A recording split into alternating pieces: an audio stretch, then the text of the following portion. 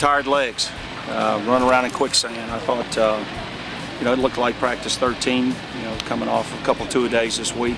Uh, but still, no excuse. We got to push through it. Um, you know, as I told them, we're not going to back up. We're not going to, we're not going to slow down. We're going to keep pushing forward. Um,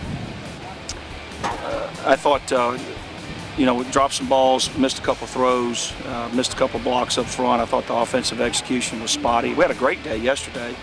Uh, of course, everything was scripted yesterday, and we are playing very, very fast. I thought our operations were less than be desired today.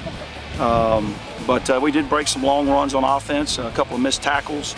Uh, we got to go back and look at that. But, uh, you know, early observations are, you know, no turnovers, which is good. And I know the defense had a chance on one early, but, uh, um, you know, just tired legs pushing through it. And uh, but we pretty much got all of our work in that we wanted to get in kicking game-wise. And then uh, as far as field zones and situations. You know, Josh West is a very talented back. Cameron Washington really flashed. You know, the the the, uh, the scripted number and limited number of touches that uh, Gus, you know, got. Anytime we can get him to the line of scrimmage, he's going to make three to four or five yards. And uh, uh, certainly, we wanted him to get uh, some live work, but we we did put him on a pitch count, and uh, it was good to see. you know, West and, and, Washington get some work back there. Um, Aaron Thomas continues to be an outstanding player. Um, I thought the interior defensive guys, uh, Hatton and Bryant and uh, Timmons, um, missing one in there, Skyler, I thought those guys continued to really get a push inside. Uh, you know, we're still missing, you know, a lineman or two in there, and, and, and it's obvious that, you know, we're, we're inexperienced inside right now. we're playing with a non-scholarship center and a true freshman center. So, uh, you know, but they've got to grow up, and uh, until we can get Anthony Pullins back and, and Jeremy Neff back full time. Um, but uh, I, I, just thought we looked tired today, and, and we went hard and fast yesterday. Uh, we were in the weight room this morning, and uh, you know, it, it, looked like we're right in the middle of camp. Go back and look at the film. I think both made some good throws. Uh, I think we've got to operate back there with a little greater sense of urgency.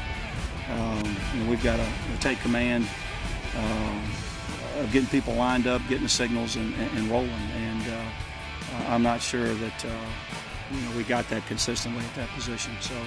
Um, you know, we're still a work in progress all the way around. Well, you know, the real scrimmage, yeah, it's encouraging. Uh, you know, it's also kind of scary to be thinking that we're probably going to be traveling, you know, 10 true freshmen to, to Kansas State in, in less than two weeks now, I guess. So, um, but, you know, it's the situation. It is what it is, and, and, and we've got to uh, get those guys ready and, and uh, I thought at times they did flash out there. John Franklin flashed. Uh, we got to get him in a little bit better shape and push him a little further because he's a he's an extraordinary talent there at defensive end. Well, you know we're still focusing on ourselves right now. I mean uh, we, we won't break camp till after the scrimmage on uh, Wednesday night. Um, uh, probably see a, a, heavy dose of more of the younger guys uh, in that scrimmage. we'll limit some of the frontline guys, but we still got to get our work in. Uh, we'll go, uh, you know, tomorrow night and a couple couple practices on Monday, and then um, get a good work in on Tuesday morning before media day and meet the Jacks, and then Wednesday night we'll scrimmage, and then Thursday we'll start our preparation for uh, for Kansas State.